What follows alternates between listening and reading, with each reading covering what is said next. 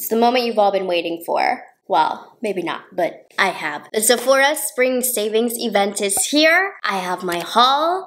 I have a lot of goodies. I'm really excited to say that today's video is sponsored by Sephora. So thank you so much, Sephora, for working with me on this video. All the items that I'm featuring in today's video can be picked up at Sephora.com. I will have every item that I mentioned linked down below for your convenience to shop through. If you don't know what the Spring Savings event at Sephora is, it's a great time to save some cash on some beauty items that you've been wanting and that have been on your wish list. They only do this twice a year, so it's always really exciting for me to stock up on a bunch of stuff that I'm going to be talking about and testing throughout the year. Now, in order to participate in this event, you must be a beauty insider. I'm going to have the link down below for you to sign up. It is totally free. Once you do sign up, the more often you shop from Sephora, there are different tiers that you can climb up on. So let's talk about what is happening for all of the tiers. So starting now until April 11th, Rouge, you guys are able to shop the event for 20% off unlimited use. You can also buy online, pick it up in store, shop online and have it shipped. You can also shop in store an unlimited number of times if you didn't know. So April 1st to April 11th, Rouge, you guys are able to shop. But don't worry, VIB starting April 5th until the 11th, you guys are able to shop and you will get 15% off. And then finally, Insiders, you are able to start shopping April 7th until the 11th and you guys get 10% off multi-use online and in store. Make sure you guys use Save Spring at checkout. What is 30% off though is Sephora collection. So you are able to get 30% off Sephora collection throughout the entire event without having to put in a promo code. Time to get into the goodies that I picked up. I picked up some new items, some older items. So the first item that I picked up is the IT Cosmetics Your Skin But Better CC Nude Glow Foundation. This is IT Cosmetics' newest complexion product. I like to buy all of the complexion products that they came out with. I picked up the shade Light Medium. I am currently wearing it. I think it's pretty. I know there have been mixed review. It's definitely a light coverage. I would not say that it's medium. And it does give a sheen to the face. The sheen reminds me a lot of the Charlotte Tilbury Hollywood Flawless Filter. I, the coverage doesn't build up on this either, but I think it is really pretty, very natural. I'm gonna have to continue playing with this. Obviously, I have only worn it for about an hour now, but first impressions, it doesn't dry out my skin. It gives a pretty semi-metallic glow, and metallic not to put you off, but it, it's kind of like that Hollywood Flawless Filter glow. So I'm liking it so far, but you have to like light coverage and you have to like glowiness. But so far so good, and light medium is literally the perfect shade for me. So excited to continue playing with this guy more. I picked up a couple concealers, one of which is a new one.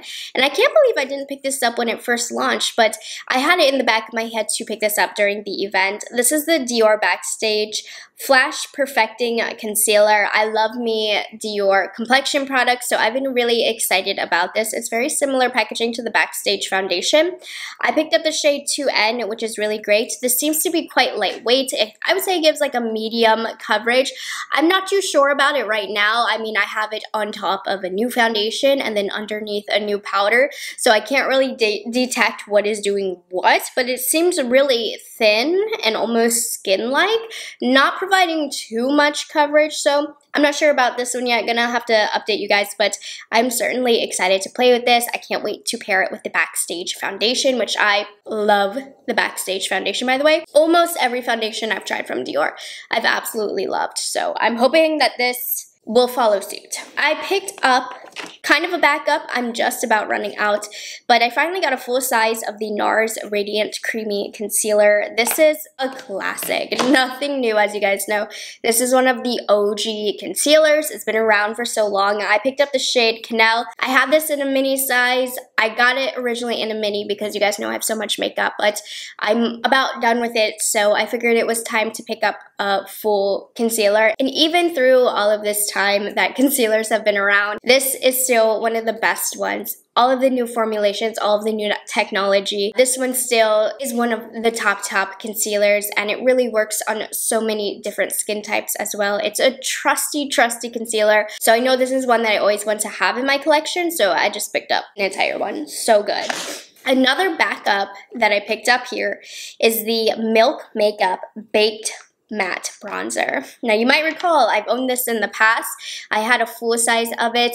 It was one of my all-time favorite cream bronzers. It just got old due to age, started to smell a little funny. So I love how Milk comes out with these little baby sizes. I have no business having a full size stick bronzer. It is so huge. We've seen the full size version of this, so I was very happy to pick up the mini and the formula, the color is still so beautiful, blends so easily. This is definitely one of my favorite cream bronzers. Highly, highly recommend this if you're looking for a good one. Love the tone of this as well. It's a little bit more warm, but it does have some coolness to it as well, so it can double as both a contour and a bronzer. One of the best. I've recommended this in a lot of videos, and I got another one, so that should say a lot. You know, it's one of those items that when I decluttered it, I felt that it was missing, and so its absence was noted, and that's a big deal. Yo, my upper lip is getting sweaty. Our AC is off right now, but I don't want it to make noise. okay, so the next item that I picked up is from NARS, another mini size. Love that brands are doing more and more mini sizes. It just makes sense for somebody of a collection of my size, and it's a little bit more cost effective if you're not going to finish the product. So I am trying out the NARS Light Reflecting Setting Powder. I've never tried this. I don't even know if this is a new product or I just have never heard of it. I think it's been around I have no clue. But I really like this powder. Again, today's the first day that I use it, but I feel like it's like a no powder powder. It is honestly undetectable on the skin, but it still sets the skin. Like I could tell it set the products that I had on prior, which were very glowy. We have that nude glow from IT Cosmetics on. But it still left the skin looking glowy, but it took it down just a notch to make it look a little bit more natural. It feels very like feather light on the skin. I think I really like this. I'm gonna continue to play with it. Definitely need to test it with foundations and concealers that I'm a little bit more familiar with, but I think NARS did a good job on this. I'm excited to play with this some more. Okay, here's where my indecisiveness came in. The majority of this haul is cream cheek products. I don't I don't know what came over me. I didn't even realize that I ordered so many cream blushes, but I love cream blushes. Huda Beauty came out with a new formula called the Cheeky Tint Blush Sticks. I got three shades. I couldn't decide, and I think I like these too. So one of the shades that actually came, Coral Cutie, I'm really excited about this. It came broken. Like, I think it melted and it's stuck at the top. So I'm going to bring it in store to see if I can exchange this. So I didn't get to try this one out, but I did try these two, and they are so pretty. So I picked up the shade Proud Pink, and then also Perky Peach. I love these names. Can you see the opalescence that these have, like the sheen? I was not expecting this, so these are quite glowy on the cheeks. They're very, very easy to blend out. They're not overly pigmented. I honestly expected a little bit more pigmentation from them, but I really love the way that they blended in with this IT Cosmetics foundation. They do have a glow to it. I would say if I were to improve this formula, I wish it had a little bit more of a base color to it. It does have that sheen, but I just want a little bit more pigment to it. The sheen is absolutely gorgeous. So these are pretty nice so far. I'm going to have to test the longevity of them, but I think they look really beautiful on the cheeks. And I think if you're wearing like a matte foundation, these are really going to liven up the face as well. I think this kind of got lost a little bit with the glowy base that I had on today. So I want to try this over a matte foundation. I think I told you guys in a video or two that I was going to pick this up. But I got the other color of the Danessa Myricks Dewy Cheek and Lip Palette. I've been loving this. I really, really have. So this is the shade Dew It Undercover. I have the other shade, which is more pinky but this one is more nude. I first thought that this would be more so for deeper complexions, but honestly, it's just more nude. The shades that I thought would be super dark and unwearable for me are a little bit more sheer. But anyways, I really love this formula. I use this formula in my bridal kits for lips mostly, but on myself, I've been enjoying them on the cheeks for glowiness. I don't think I'd necessarily use these on clients on the cheeks just because of longevity purposes for events. But yeah, on me, for that everyday glowy cheek, I do enjoy this. It, it gives a really hydrated look to the cheek. It makes the cheek look really plump and juicy. I do really love the colors of these. I was pleasantly surprised. The other one is super pink. I love a pink cheek. I haven't put these on my cheeks yet, but I'm very excited to see how they look. This is an item from a brand that I never thought I would buy from. But I was in Sephora in store physically the other day and I tested these, I swatched them, and I was liking what I was feeling, so I picked up the Item Beauty Blushin' Like Cream Blush in the shade It's Verified, and there's lots of pretty colors here. This is such an interesting cream blush formula. It's almost like a velvety matte. It's like a powder, a super duper creamy powder. Anyways, this shade is like a nude and it looks so smooth on my hand. I haven't tried this on my face, but it almost blurred the lines on my hand. So I'm excited to see what this does on my cheek. I will certainly have to keep you guys updated, but I'm intrigued. I love the way that this formula feels and if I end up loving it, maybe I might need to purchase more from the event from this brand. Huh, wasn't surprised. And then this was a product that I was simply curious about. Laura Mercier Tinted Moisturizer Blush. I'm a stand for Laura Mercier. I think they're an underrated brand. And this sounded great because I love their tinted moisturizer. So I wanted to try the blush. So I picked up the shade Southbound. I picked up like the soft pink. I'm always picking up the soft pink options. And this, so far from the swatch, looks really beautiful. I haven't applied it to my face yet, but it feels really hydrating. It does have a similar feel level of hydration as a tinted moisturizer, but it gave an even amount of coverage when I blended it out. It didn't look patchy or runny like I thought it was going to. So I have high hopes for this. I'm loving the consistency on my hand. We're gonna see how it works on the face, but you know, I decided to buy 20 billion cream blushes today, so we can't test that one out. The next item that I got, and the last cream blush, this is from Rare Beauty. I've been on a kick with these lately, okay? I know they came out a while ago. I tried them, I liked them, I moved on. Well, I tried them again recently when they launched new colors, and now I'm obsessed, and I just love cream blushes more than ever now.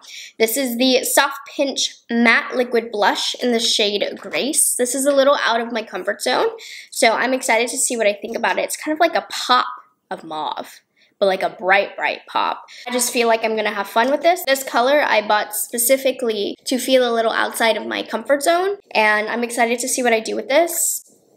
I don't know, we'll see.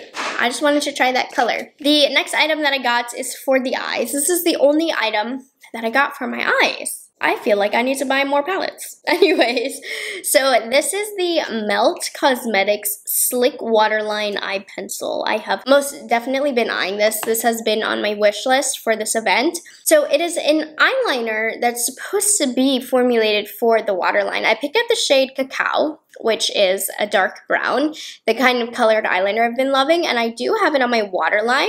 Let me see. You know how sometimes waterline eyeliners can disappear in seconds? It's still on there. It's faded a little, but it's still on there. So one thing I noticed about this is this is really, really slick. It's advertised as a slick waterline pencil. It's so slick to the point where I feel like I was losing control. I did go in with a brush after to blend it out. Super duper malleable. I'm gonna have to see how this wears. I'm gonna have to see if this sets. I do have it along my tight line and my upper lash line. Super smudgy.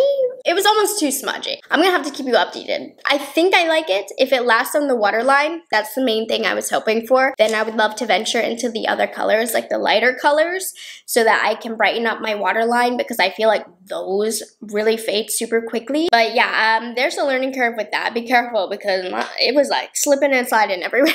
and then the last beauty product or makeup product that I picked up was from Dior. I just felt like I wanted to get a luxe product. This is the Dior Addict Shine Lipstick Intense color. And look at this packaging. Isn't she so beautiful? I got this in the shade Tie and Dior, shade 329. The packaging, already worth it. I, mm, you guys know what a packaging girl I am. You pull it out and this lipstick is so beautiful. It's just a great everyday color. You can see it has a little bit of glimmer in there but I think it's super pretty. It's slightly metallic. I don't know. I'm gonna say I don't have a lip color like this. I probably do, but right now, I'm loving this. This is great to kind of pop in your purse. I'm wearing Charlotte Tilbury Iconic Nude underneath just to keep everything in check. And then I also, on my eyes, I don't think I mentioned this. This is like not part of the video, but here I am. But you can get this during the event. This is a really pretty palette I'm using for the first time I can't believe I've never used this before. The Walk of Shame. I think it's since been renamed, but palette from Charlotte, and it is so pretty. Okay, that's it for makeup. My final two items that I picked up are for my hair. I ran out of curl cream, so I thought I'd decide to try a new one. I love trying new curl creams. This is the Moroccanoil Curl Defining Cream. It defines and separates, which is what I would like. I don't know. I just like closed my eyes and was like, let's try something new. And this is what came up. It is huge. This is a very large bottle. I'm excited about that. Don't do too much talk about hair on my channel. Maybe I should. I like this. I'm excited to try it. And then this one kind of exploded in the box a little bit, but it's fine, just a little bit. I got the Day Deep Conditioning Treatment. I definitely bought this for the packaging. I think the aesthetic of this brand is stunning. It says to apply to freshly washed hair. Let sit for five minutes, five to 10, and rinse thoroughly and use it once a week as needed. I have dry hair. I put heat on my hair. So I wanted a deep conditioning treatment and I love the way that this bottle looked. And that was all the uh, all the motivation I needed to pick that one up. So yeah. Anyways, that's what I picked out for the event. Am I gonna pick up more? Yes, I always I always do. You know, you always remember other things, but I think I have a really good base down. Lots of items to try on the cheeks. I will certainly keep you guys updated in an updates video, so keep an eye out for that. Make sure you guys are subscribed. And again, a huge thank you to Sephora for sponsoring this haul. I will have everything linked down below for you guys to shop through your convenience. Your support is very much appreciated. Make sure you sign up to become a beauty insider if you want to participate in this event. And I will have have all of the details of that in the description box down below. So I will see you guys in the next one. Bye guys, have a good one.